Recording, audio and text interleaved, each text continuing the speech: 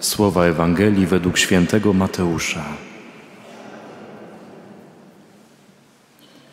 Rodowód Jezusa Chrystusa, syna Dawida, syna Abrahama. Abraham był ojcem Izaaka, Izaak ojcem Jakuba, Jakub ojcem Judy i jego braci. Juda zaś był ojcem Faresa i Zary, których matką była Tamar. Fares był ojcem Esroma, Esrom ojcem Arama, Aram ojcem Aminadaba, Aminadab ojcem Naassona, Naasson ojcem Salmona, Salmon ojcem Booza, a matką była Rahab. Boos był ojcem Obeda, a matką była Rut. Obed był ojcem Jessego, a Jesse był ojcem króla Dawida. Dawid był ojcem Salomona, a matką była dawna żona Uriasza.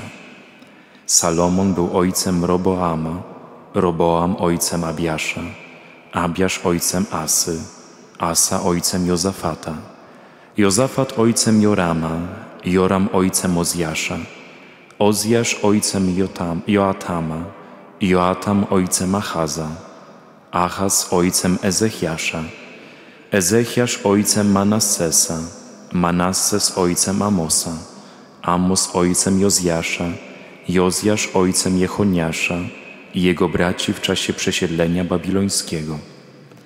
Po przesiedleniu babilońskim Jechoniasz był ojcem Salatiela, Salatiel ojcem Zorobabela, Zorobabel ojcem Abiuda, Abiud ojcem Eliakima, Eliakim ojcem Azora, Azor ojcem Sadoka, Sadok ojcem Achima, Achim ojcem Eliuda, Eliud ojcem Eleazara, Eleazar ojcem Matana, Matan ojcem Jakuba, Jakub ojcem Józefa, męża Maryi, z której narodził się Jezus zwany Chrystusem.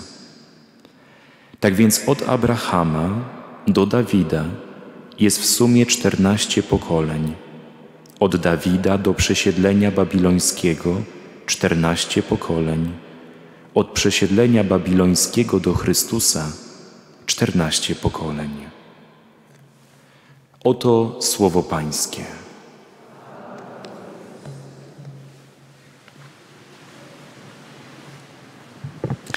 Moi kochani bracia i siostry, po wczorajszym rozważaniu na temat Słowa Bożego, tę dzisiejszą katechezę chciałbym poświęcić Eucharystii. Rozpoczął się dwa tygodnie temu w Kościele w Polsce kolejny rok duszpasterski, który, tak jak i następny, będą skoncentrowane właśnie wokół Eucharystii. I jeżeli od początku naszych rekolekcji mówimy na temat wiary, to nie, nie, nie można sobie wyobrazić rozwoju wiary bez Eucharystii. Eucharystia z jednej strony wymaga wiary, a z drugiej strony tę wiarę wzmacnia. Kiedy mm, miała się ukazać pierwsza w tym wieku encyklika Jana Pawła II, jeszcze wówczas oczywiście nie było wiadomo, że to będzie ostatnia encyklika tego papieża, to pamiętam spekulacje na temat tego, czego ona będzie dotyczyła. Były już zapowiedzi, że papież ogłosi niebawem encyklikę, ale o czym? Jedni mówili o młodzieży, bo Kościół traci młodzież, drudzy o globalizacji, a trzeci o y, terroryzmie, bo to było po World Trade Center. W każdym razie była zgodność, że ta encyklika będzie dotyczyła tego, co dla Kościoła najważniejsze w tamtym czasie. I, I encyklika była o Eucharystii, czyli o tym, co dla Kościoła najważniejsze nie tylko w tamtym, ale w każdym czasie. A nazywa się ta y, encyklika, której lekturę serdecznie polecam, nazywa się Ecclesia de Eucharistia, czyli Euchary Kościół z Eucharystii, Ecclesia de Eucharistia Vivit. Tak brzmi pierwsze zdanie tego dokumentu. Kościół żyje dzięki Eucharystii. Bez Eucharystii nie żyje. Działa, funkcjonuje, organizuje, robi różne szlachetne sprawy, natomiast nie żyje, nie ma w nim życia. I identycznie każdy z nas w Kościele działa, funkcjonuje, robi, ale bez Eucharystii to wszystko jest martwe. I zachęcając Was do. Chciałbym dzisiaj zachęcić najpierw do, do tego, żeby nieustannie odnawiać w sobie wiarę w Eucharystię. Kiedy za chwilę ponad tym ołtarzem zostanie wzniesiony kawałek chleba bez wagi i bez smaku, kiedy zostanie wzniesiony kielich, czy ja wierzę, że to jest prawdziwy Bóg? Prawdziwy Bóg, obecny w tym najświętszym sakramencie ciała i krwi Pańskiej. Nie chodzi o to, czy ja coś czuję, czy przeze mnie w czasie podniesienia lub w innym momencie mszy świętej przechodzą jakieś ciarki, czy odczuwam jakieś wewnętrzne ciepło. Pan Jezus nigdzie nie powiedział błogosławieni, którzy mnie czują, ale błogosławieni, którzy we mnie wierzą. Jest w Ewangelii piękna scena o kobiecie, która od 12 lat cierpiała na krwotok. Tak dokładnie, jakbyśmy mieli przetłumaczyć ten tekst, to on by brzmiał od tych 12 lat cierpiała na krwotok. Czyli od chwili, gdy stała się osobą dojrzałą, dojrzałą kobietą. Co to był za krwotok, to ja jako mężczyzna mam blade pojęcie. To była nieustanna miesiączka. Od 12 roku życia kobieta, która nieustannie przeżywa taką sytuację. Panie mogą sobie to doskonale wyobrazić. I z jednej strony jest to dla niej sytuacja trudna fizycznie, ale to jest ogromne cierpienie psychiczne, bo przecież od, od początku życia dorosłego tej kobiety nikt nie mógł przytulić, nikt nie mógł jej objąć, nikt nie mógł jej dotknąć, bo by się stał nieczysty. Oprócz tego przeżycie duchowe, cierpienie duchowe, bo przecież musi sobie myśleć, co ja takiego zrobiłam, że Pan Bóg mi tak zrobił. No i ona nie może być matką. Jakby w swojej kobiecości jest nieżywa. I ta kobieta, jak mówi Ewangelia, słysząc, że obok przechodzi Pan Jezus, z tym całym swoim cierpieniem idzie do Niego i mówi, żebym ja się mogła dotknąć kawałka Jego szaty. Nie, nie chcę niczego więcej, kawałka Jego szaty, szmatki się chce dotknąć. I przeciska się przez ten tłum, który otacza Pana Jezusa, dotyka się tej szaty, a Jezus mówi, kto się mnie dotknął? Hm, apostołowie mówią, Piotr mówi, Panie, no wszyscy Cię dotykają, pełno ludzi tu jest. Kto się mnie dotknął? On wiedział, że w tym tłumie jest ktoś, kto to zrobił inaczej. I ona, e, taka wystraszona, mówi, ja, Panie. A Pan Jezus jej, uwaga, niewiasto, Twoja wiara Cię uzdrowiła. Rozumiecie? Nie, nie Twoja obecność, tam było pełno ludzi, tylko Twoja wiara Cię uzdrowiła. Bracia i siostry, my tutaj za chwilę będziemy mogli dotknąć się nie szmatki, tylko w czasie Eucharystii dotykamy ciała Jezusa. Spotykamy się z Nim samym w sposób nieskończenie głębszy niż tamta kobieta. Tylko czy jest w nas ta postawa wiary? Można całe życie iść za Chrystusem i nie zrobić w Jego stronę jednego kroku.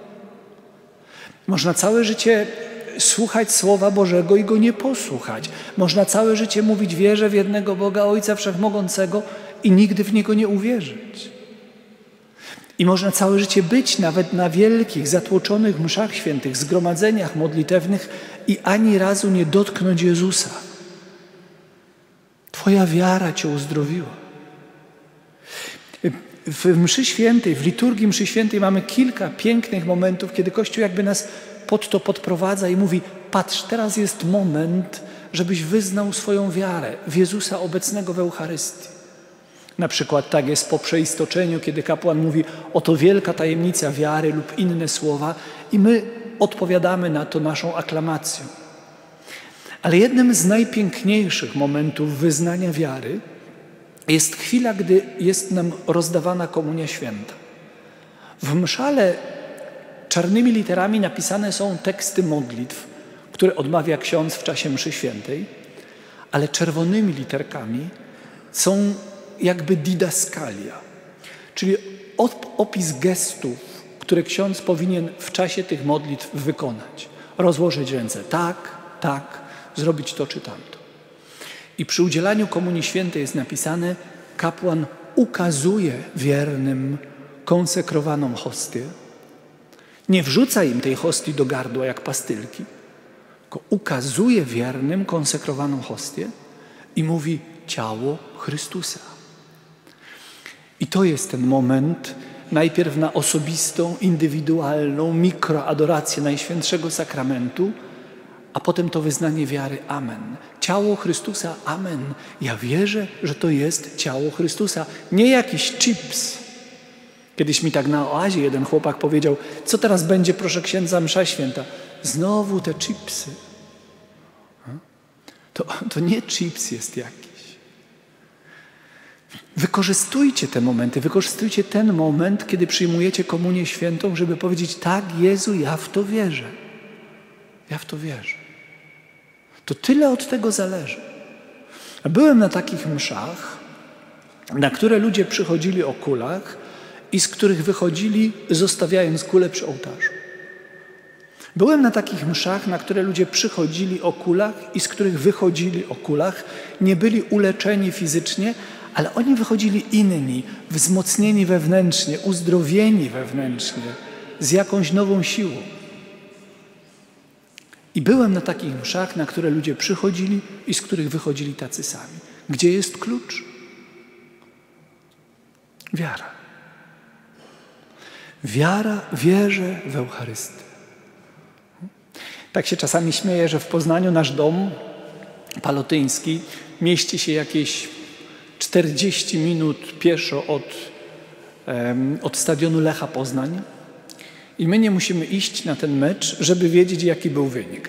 Bo ci kibice idą te 40 minut pieszo i cały czas gadają o tym meczu. Przechodzą pod naszymi oknami, wystarczy spojrzeć, aha, Lech wygrał, bo jest radość, albo niestety się nie udało, bo jest na smutno. Zdarzyło wam się tak, żeby wyjść z kościoła i przez ileś tam minut opowiadać o tym, o, o przeżyciu, którym była tam msza święta? Ale chodzi też o to, żeby na, na każdej mszy świętej dążyć do osobistego zjednoczenia z Chrystusem. Proszę być spokojnym, nie chodzi znowu o jakąś mistykę. To jest sprawa bardzo prosta. Ksiądz Maciej powiedział przed chwilą, w jakiej intencji sprawuje tę mszę świętą, w jakiej intencji sprawuje ją ksiądz, Mariu, y, ksiądz Darek. Jaka jest ta moja, którą teraz tu przynoszę? Co ja dzisiaj chcę tutaj położyć? Co chcę dzisiaj, żeby w sposób szczególny było we mnie zjednoczone z Chrystusem? Proszę się nie obawiać, to mogą być naprawdę rzeczy drobne, zwykłe, nawet banalne. Tu za moment na ten ołtarz zostanie przyniesiony kawałek chleba i to jest taki chleb, który nie jest dumą żadnego piekarza.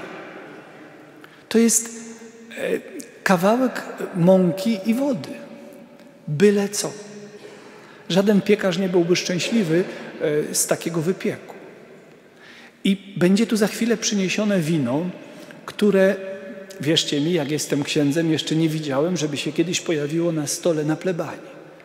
Jakby proboszcz zapraszał swoich gości na kolację i postawił im wino mszalne, to by go wyśmiali. By się czuli ci goście obrażeni, że im stawia taką taniochę, bo to jest najtańsze wino albo jedno z najtańszych. Byle co. I takie byle co przyniesione na ołtarz stanie się materiałem dla ciała i dla krwi Chrystusa. To jest piękne. To jest piękne, jakby Pan Jezus mówi: Nie bój się Twojego byle czego w Twoim życiu. Nie bój się Twoich małych ofiar, Twoich małych zjednoczeń ze mną. Przyjdź, bo ja tu na Ciebie czekam z całą swoją miłością, z całym swoim miłosierdziem, z całą swoją osobą. Jeżeli nie następuje to zjednoczenie, to nie z winy Boga. On już bardziej się nie może zbliżyć, co będziemy przecież teraz przeżywać w tajemnicy Bożego Narodzenia. Także przynosić Chrystusowi to wszystko, czego się sami wstydzimy, nawet sami przed sobą, a co dopiero przed innymi. Jak nastałem proboszczem w Poznaniu, to moim marzeniem było to, żeby w Wielki Czwartek e, w czasie liturgii było owo mandatum, czyli gest obmycia nóg. Mój poprzednik tego nie robił, więc postanowiłem cały Wielki Post jakoś ludzi przygotowywać do przeżycia Triduum, między innymi do tego gestu. Wydawało mi się, że sprawa jest załatwiona. No i kiedy przyszło poszukać tych panów, jakie to było trudne. Nie, proszę księdza, ja nie pójdę. Nogi moje, ja mam takie powykręcane paluchy, ja mam taką żółtą skórę, ja nie mogę do, domyć brudu spod paznokci, a ja mam. Nie. Głowę, ręce, dokładnie jak Piotr w wieczerniku, ale nogi nie. Ksiądz będzie to dotykał, ksiądz będzie to. Nie. No, ale właśnie Pan Jezus to chce robić w czasie mszy świętej. Nie? Dotykać tego wszystkiego, co jest we mnie pogniecione, bardziej niż te zgnioty na palcach, co jest jakoś po, po, pobrudzone, połamane, poukrywane. Właśnie On tam chce docierać ze swoją łaską. Ta dzisiejsza Ewangelia, ona jest niezwykle pocieszająca. Może się na pierwszy rzut ucha wydawać, że jakaś dziwna. Po co nam w ogóle Kościół to czyta? Jakaś litania dziwacznych dla nas imion, ten był synem tego, tamten był synem tego, ten był synem kogoś. Po co nam to wszystko wiedzieć? Kto z nas pamięta teraz te imiona? Nie można byłoby sobie tego kawałka Ewangelii odpuścić w liturgii? Nie. Zwłaszcza nie na parę dni przed Bożym Narodzeniem. Bo oczywiście z jednej strony ten rodowód Pana Jezusa nam przypomina o tym, że On, Jezus Chrystus, jest owszem prawdziwym Bogiem, Bóg z Boga, światłość ze światłości, Bóg prawdziwy z Boga prawdziwego, jak wyznajemy w credo, ale jest też prawdziwym człowiekiem. Ma swoją ludzką historię, swoich ludzkich przodków. I w tej litanii, którą przed chwilą słyszeliśmy, w tym spisie imion, są postaci szlachetne, wspaniałe, cudowne, ale są też kanalie. Są ludzie, którzy się nie sprawdzili, którzy zdezerterowali, jeśli chodzi o swoje człowieczeństwo czy o swoje powołanie. Są ludzie naprawdę no, nie, nieszlachetni. A na końcu tego wszystkiego jest Jezus Chrystus. I pociecha zawarta w tej Ewangelii polega na tym, że każdy z nas ma taką swoją historię. Ma być może takich przodków, z których jest dumny i z których jest mniej dumny. Ale pociecha polega jeszcze bardziej na tym, że pewnie w swojej historii, świadomej historii naszego życia mamy takie przestrzenie, takie wymiary, takie chwile, z których my sami jesteśmy dumni i takie, których się wstydzimy. Ale chodzi, bracia i siostry, o to, żeby na końcu tego wszystkiego był Jezus Chrystus. Właśnie, żeby to wszystko Jemu tu ofiarowywać. Nasze szczęścia i nieszczęścia, nasze zwycięstwa i sukcesy, nasze chwile ciemne i nasze chwile świetlane. Wszystko przeżywać z Chrystusem. Całą naszą codzienność, całą naszą rzeczywistość. I to, to miejmy w, w głowie i w sercu, kiedy przychodzimy na mszę świętą i przed mszą świętą, warto zrobić sobie taki świadomy akt, Panie Boże, co ja dzisiaj tu chcę położyć, co ja dzisiaj chcę z Tobą tutaj zjednoczyć. I bardzo szybko doświadczymy tego, że nie ma dwóch takich samych mszy świętych. Mogłoby być w tym samym kościele, mógłby być ten sam ksiądz, ten sam organista, te same pieśni, te same czytania. Msza będzie inna. Bo ja będę dzisiaj inny niż byłem wczoraj. Dzisiaj inny niż będę jutro, jeśli dożyję. Dalej, bracia i siostry, jeśli mówimy o znaczeniu mszy świętej w naszym chrześcijańskim życiu, to też bardzo Was zachęcam do tego, żeby jak najczęściej, a najlepiej na każdej mszy świętej przyjmować komunię świętą. Macie tutaj świetną obsługę, e, jeśli chodzi o sakrament pokuty. Księża, jak widać, są dyspozycyjni, chętni. Korzystajcie z tego. Lepiej się spowiadać przed każdą mszą, niż być na mszy, nie mając stałych przeszkód i nie przyjmować komunii świętej. I właśnie pozwolić, żeby ona jakby z krwią dotarła do każdej części mojego organizmu i dotarła do każdej przestrzeni mojego życia. Jednym z najbardziej przejmujących wspomnień, jakie mam z prawie dziewięcioletniego bycia prowincjałem, jest pewna wizytacja w Papui Nowej Gwinei, w pewnej osadzie. No tam trzeba kilkadziesiąt godzin lecieć samolotem, potem jeszcze wsiąść na łódkę, a potem jeszcze iść pieszo przez dżunglę.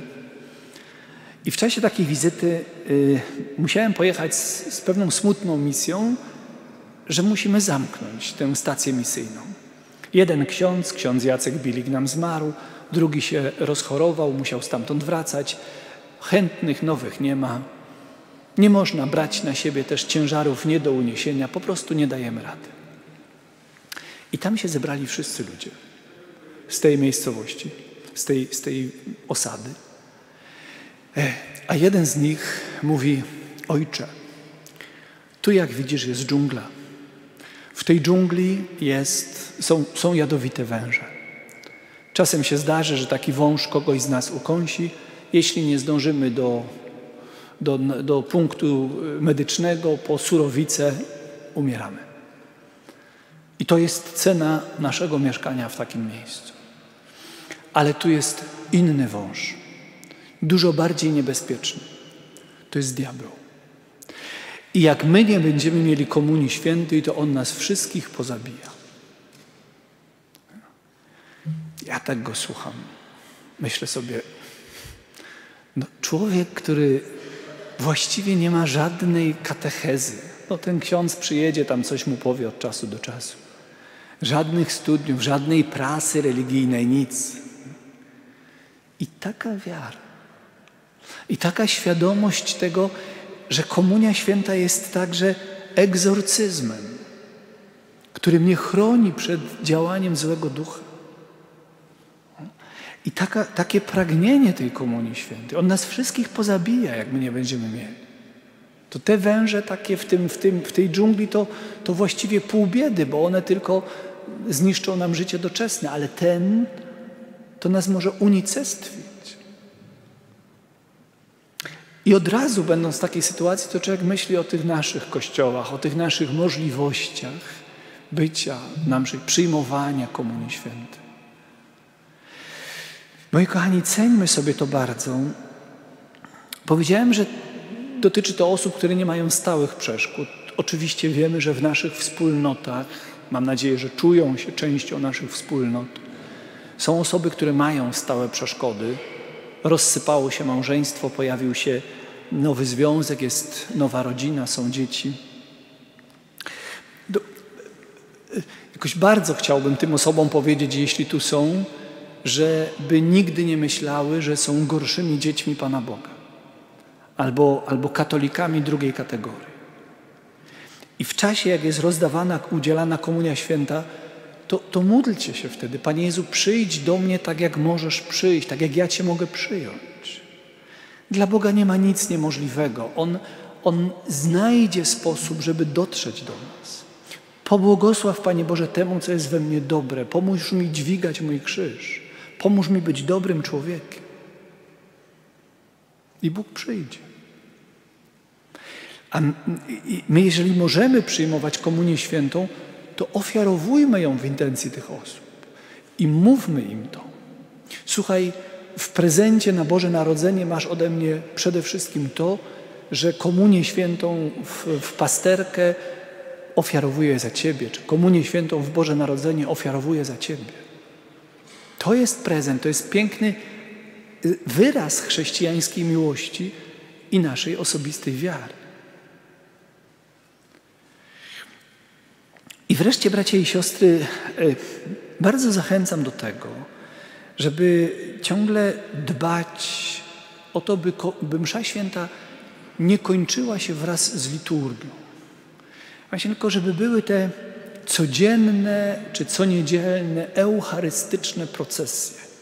Bez tych kwiateczków, bez tych różnych, bez tej zewnętrznej formy, jaka towarzyszy tym uroczystym procesjom, ale te indywidualne, codzienne procesje, czyli żeby Chrystus wychodził z tego kościoła i był towarzyszył nam we wszystkich momentach naszego życia, żebyśmy Mu na to pozwolili.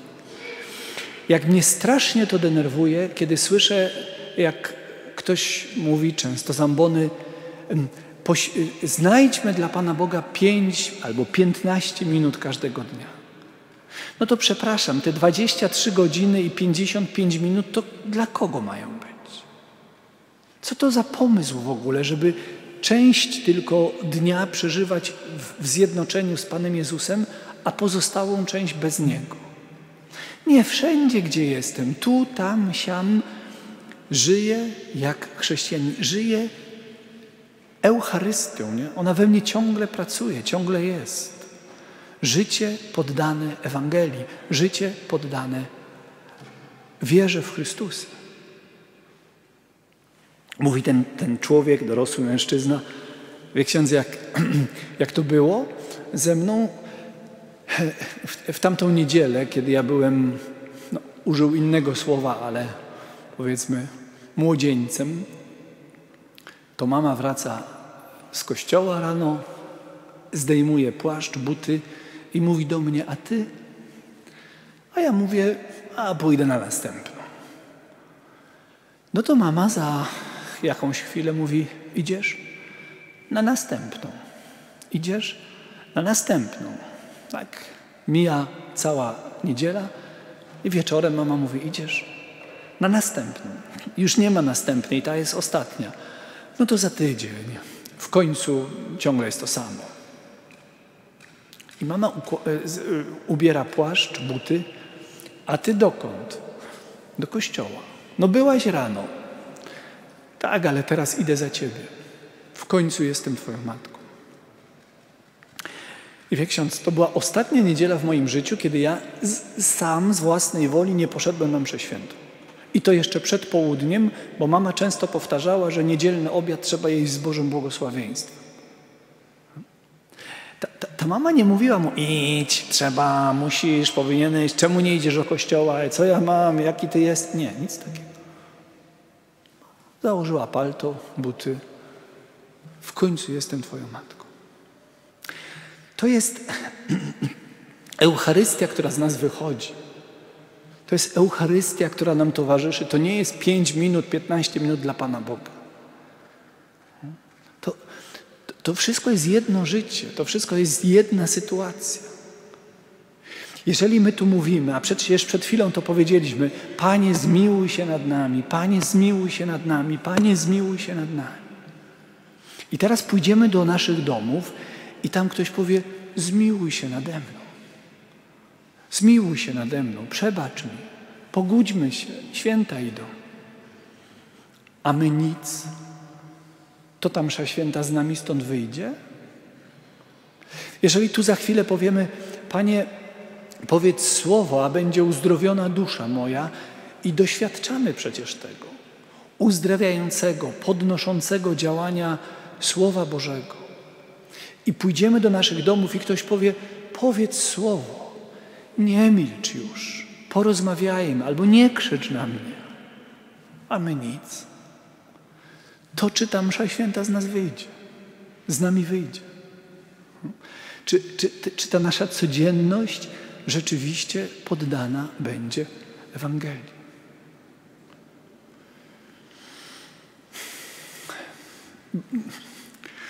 Widzicie, że to jest jedna sprawa, tego się nie da jakoś tak posegregować.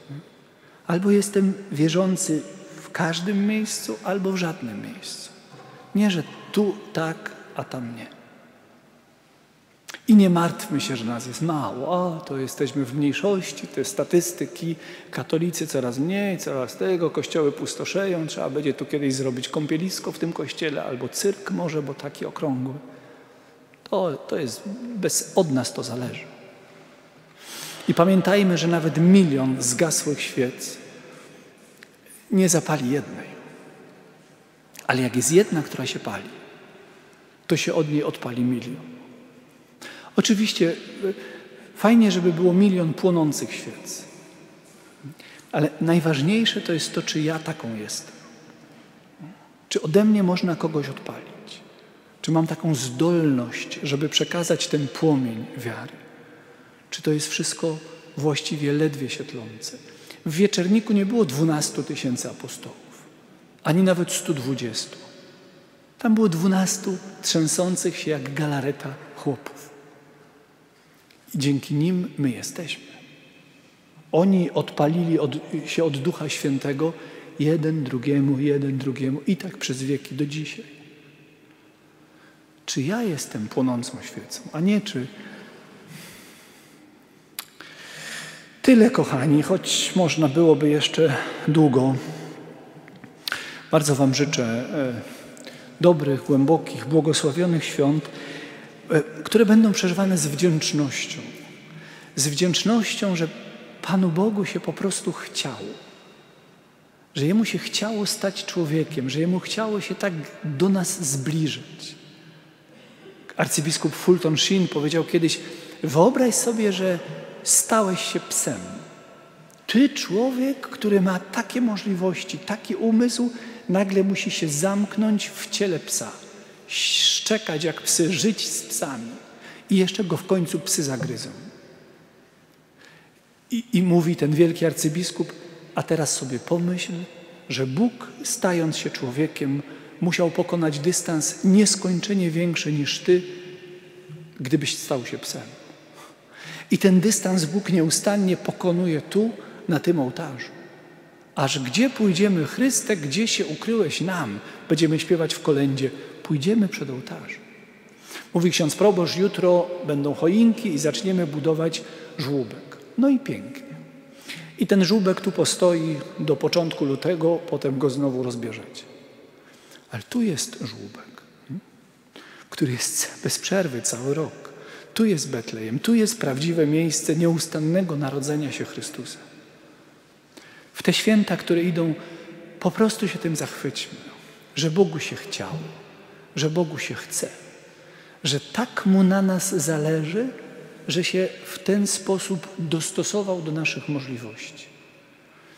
Jednocześnie sobie pomyślmy, że jeżeli jest w dalszym ciągu oddalenie między nami a Nim, to już nie z Jego winy. On zrobił wszystko, co mógł. Błogosławionych świąt i błogosławionego życia. Amen.